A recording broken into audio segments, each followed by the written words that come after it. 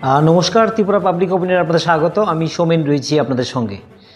আজকে আমরা যে বিষয়টি নিয়ে কথা বলব তা হচ্ছে গত বৃহস্পতিবার একটি ঘটনাকে কেন্দ্র করে, অর্থাৎ ছাব্বিশ জানুয়ারি আগের দিন রাতে একটি ঘটনাকে কেন্দ্র করে রাজ্যে প্রশাসনিক ক্ষেত্রে একটা প্রশ্ন উঠতে শুরু করেছে যে পুলিশ তার ব্যক্তিগত ক্ষমতা অপব্যবহার করছে এবং এই অপব্যবহার করে একজন নিরীহ পথচারীকে অথবা বলা যায় একজন চিকিৎসককে অতর্কিত আক্রমণের ফলে তাকে হসপিটালাইজ হতে হয়েছে এবং একদল উচ্ছৃঙ্খল যুবকের হাতে এসডিপিউ প্রসঙ্গকান্তি ত্রিপুরার ছেলে এবং মেয়ে আক্রান্ত হওয়ার ঘটনার পর সেই ঘটনাটা কিন্তু অন্যদিকে মোড় ঘোরাতে শুরু হয়ে গেছে। আমরা দেখেছি যে একটা অভিযোগ উঠছে এসডিপি প্রশাসনকান্তি ত্রিপুরা তিনি ওনার প্রশাসনিক শক্তি কাজে লাগিয়ে একজন চিকিৎসকের বিরুদ্ধে কিন্তু তিনি লেলিয়ে দিয়েছেন, এই ধরনের বক্তব্য উঠছে এবং এই ঘটনার সঙ্গে তিনি সরাসরি যুক্ত, এই ধরনের অভিযোগ উঠছে এবং প্রশ্ন উঠছে। ইনি, তিনি হচ্ছেন আমতুলি এলাকার তিনি এসডিপিউ সেই জিওডিকশনের সেই জিওডিকশনটা তিনি অতিক্রম করে উইদাউট পারমিশন তিনি ঘটনাস্থলে গেছেন। তিনি ওনার ছেলে, মেয়ে আক্রান্ত আক্রমণ হওয়ার ঘটনার পর তিনি সেই ঘটনাতে, সেই জায়গাতে গিয়ে ঘটনাকে জটিল করে তুলেছেন, এই ধরনের অভিযোগ উঠছে। কিন্তু যদিও ওনার কাছ থেকে যে আমরা বক্তব্য পেয়েছি, সেটা আপনাদেরকে আমরা ইতিমধ্যে আমরা শুনিয়েছি। তিনি গোটা ঘটনাটিকে নস্বাত করেছেন। এটা তিনি একজন ওনার বিরুদ্ধে ষড়যন্ত্র এবং ওনাকে ডিফেম, ওনাকে বদনাম করার কিন্তু অভিযোগ তিনি করছেন যে ওনাকে বদনাম করার চেষ্টা করা হচ্ছে। এবং তিনি এও বলছেন যে আমতলি যে এলাকাতে তিনি তিনি ক্ষমতা, তিনি দায়িত্বে এসেছেন, সেটা অনেকের পছন্দ হচ্ছে না, এই অভিযোগও তিনি তুলছেন। কিন্তু কাকতালীয়ভাবে একটি ঘটনা ঘটেছে, ওনার ছেলে এবং ওনার কন্যার সঙ্গে। যে একটা বাড়ি ফেরার পথে একটা ঘটনা ঘটেছে টমটমের সঙ্গে, ওনার গাড়ি ধাক্কার পর ঘটনাটা জটিল হয়েছে।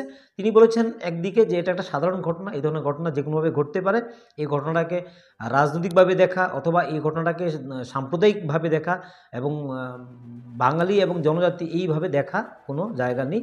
তিনি বারবার অনুরোধ করেছেন যে ঘটনাটাকে যেন শুধুমাত্র একটা ঘটনা হিসেবে দেখা হয়, এটাকে যেন কোনোভাবেই যেন এটাকে জাতিগত ইস্যু না করা হয়।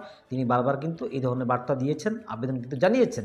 তিনি স্পষ্ট জানিয়েছেন, যদি তিনি বা ওনার পরিবার কোনোভাবে আইন ভঙ্গ করে থাকেন এবং তিনি যদি আইন ভঙ্গ করে থাকেন, তাহলে অবশ্যই প্রশাসন আছে প্রশাসনের ঊর্ধ্বে কেউ নন। আমরা একটা প্রশ্ন করেছিলাম যে, জওয়ান সিনেমাতে যখন শাহরুখ খান একটা ডায়লগ দিয়েছিলেন, বেটে কো হাত লাগানে সে পেহলে, বাপ সে বাত কর। তিনি বলেছেন এর উত্তরে, বেটে বেটেকেও সামালেগা, বেটি বেটিকেও সামালেগা। এই ধরনের ডায়লগ তিনি দেবেন না। কারণ তিনি, আমরা যখন ইঙ্গিত দিয়েছিলাম যে প্রশাসনিক পুলিশ আধিকারিক হওয়ায় তিনি তার, সেই ক্ষমতাটাকে প্রয়োগ করে তিনি ছেলে মেয়ের বিরুদ্ধে যারা আক্রমণ করেছে, তাদেরকে তিনি আইনিভাবে তিনি সরাসরি আইনি ক্ষমতা তিনি প্রয়োগ করছেন এবং তাদের উপর কিন্তু তিনি অন্যভাবে পদক্ষেপ নিচ্ছেন বা তিনি তার ওনার ক্ষমতা প্রয়োগ করছেন বলে কিন্তু অভিযোগ উঠছে। এবং যে চিকিৎসক ওনার বাবা কিন্তু ওনার বিরুদ্ধে মামলা দায়ের করেছে এবং তিনি বারবার বলছেন যে পুলিশ, প্রশাসন, আধিকারিক যারা, তারা শক্তি রয়েছে, ক্ষমতা রয়েছে তাদের কি শুধু বাঁচার অধিকার রয়েছে? আমার কি বাঁচার অধিকার নেই? এ ধরনের কিন্তু তিনি কথা বলছেন। কিন্তু তিনি কিন্তু ওনার পরিবার পরিজনদেরকে নিয়ে, এলাকাবাসীদেরকে নিয়ে প্রসূনকান্তি ত্রিপুরার এসডিপি প্রসূনকান্তি ত্রিপুরার কিন্তু বরখাস্ত করার দাবি তিনি তুলছেন এবং তিনি আশঙ্কা বোধ করছেন এবং তিনি সন্ধিহান যে পুলিশ প্রশাসন, রাজ্য সরকার এই আধিকারিকের বিরুদ্ধে কোনো পদক্ষেপ গ্রহণ করবে না। ওনার চোখে তিনি একজন নিয়ম ভঙ্গকারী অফিসার এবং অন্যান্য অফিসার যারা রয়েছেন, তাদের বিরুদ্ধে তিনি প্রশ্ন তুলছেন।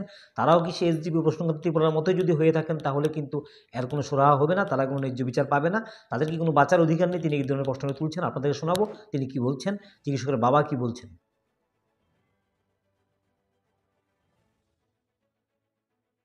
এখন আপনারা শুনলেন চিকিৎসকের বাবা কি বলছেন? কিন্তু প্রশ্ন হচ্ছে, আমরা বারবার বলছি যে গোটা ঘটনাটিকে কেন্দ্র করে কিন্তু কোথায় না কোথায় কোথায় একটা ভুল হচ্ছে এবং এখানে এসডিপির প্রসঙ্গকান্তি ত্রিপুরা নিঃসন্দেহে তিনি একজন পুলিশ আধিকারিক, সৎ পুলিশ অফিসার।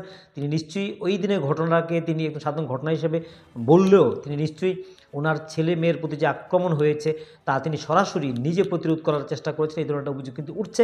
যদিও তিনি কিন্তু গোটা ঘটনাটাকে তিনি কিন্তু নস্বাত করেছেন এবং তিনি কারোর প্রতি আক্রমণ করেছেন, তিনি এই ধরনের অভিযোগ করার পর তিনি বলেছেন স্পষ্ট আমাদের ত্রিপুরা পাবলিক ওপিনিয়নে যে এই ধরনের ধরনের কোনো যদি ভিডিও ক্লিপস থাকে, সেটা আমাদের সামনে তুলে আনা হোক, এ ধরনের প্রমাণ তথ্য থাকলে সেটাকে তুলে আনা হোক, যে আমাদের কোনোভাবে পুলিশকে লেলিয়ে দিয়ে কোনোভাবে আমরা এখানে কোনো ঘটনা ঘটানোর চেষ্টা হয়েছে এসডিপিও দ্বারা, তিনি নিজে কিন্তু বলছেন এই কথাটা, যে এটাকে তিনি নস্বাত স্বীকার, অস্বীকার করছেন, এটা ওনার বিরুদ্ধে ওনাকে ডিফেম অর্থাৎ ওনাকে বদনাম করার চেষ্টা করা হচ্ছে, এটা কিন্তু তিনি বলছেন।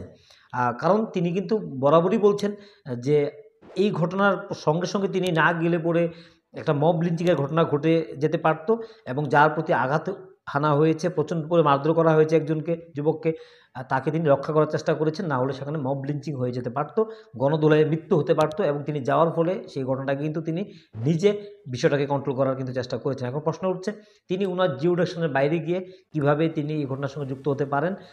তিনি সেক্ষেত্রে তিনি আধিকারিকের কোনো অনুমতি নিয়েছিলেন কিনা? এই প্রশ্নগুলি কিন্তু তুলছে, উঠানো হচ্ছে। তবে আমাদের বক্তব্য হচ্ছে, একজন বাবা হিসেবে কিন্তু উনি ওনার ছেলে মেয়ের আক্রমণের ঘটনা শুনলে তিনি অবশ্যই তিনি একজন পিতা হিসেবে কিন্তু তিনি ওনার দায়িত্ব পালন করতেই পারেন। তবে আমরা মনে করি দুঃসময়ে পরিবার পাশে দাঁড়ানো সেটা ওনার অধিকার এবং সেক্ষেত্রে ঈশ্বরও ওনার পাশে থাকবেন। কারণ একজন পরিবার যখন বিপদে পড়ে, তার পাশে দাঁড়ানো নৈতিক দায়িত্ব এবং এটা প্রথম দায়িত্ব, গুরু দায়িত্ব, বাকি অন্য যে কোনো দায়িত্ব থেকে সেটা কিন্তু সবচেয়ে বড় দায়িত্ব। অর্থাৎ যে কোনো নৈতিক দায়িত্ব থেকে সে দায়িত্ব কিন্তু বড় হয়ে দাঁড়ায়। যখন পরিবারের কেউ বিপদে পড়েন, তখন সে দায়িত্ব রাষ্ট্রের দায়িত্ব পালনের চাইতেও পরিবারের পাশে দাঁড়ানো সেই দায়িত্বটা কখনো কখনো বড় হয়ে দাঁড়ায়। কারণ রাষ্ট্রের পাশে সর্বক্ষণ তিনি ওনার দায়িত্ব পালন করে যাচ্ছেন, সেক্ষেত্রে ওনার পরিবার যখন বিপদে পড়েছে সেই দায়িত্ব সেই রাষ্ট্রের দায়িত্বের মতোই ওনার পরিবারের দায়িত্বটা কিন্তু ওনার কাছে কম গুরুত্বপূর্ণ নয়। তো এই কথাগুলি বলে আজকের জন্য বিদায় নিচ্ছি। সবাই ভালো থাকুন, সুস্থ থাকুন, আমাদের সঙ্গে থাকুন এবং যারা আমাদের চ্যানেলটি নতুনভাবে দেখছেন, অবশ্যই ফেসবুকে ফলো যদি ফেসবুকে দেখে থাকেন ফলো করবেন এবং ইউটিউবে যারা দেখছেন, তারা অবশ্যই সাবস্ক্রাইব করে আমাদের পাশে থাকবেন।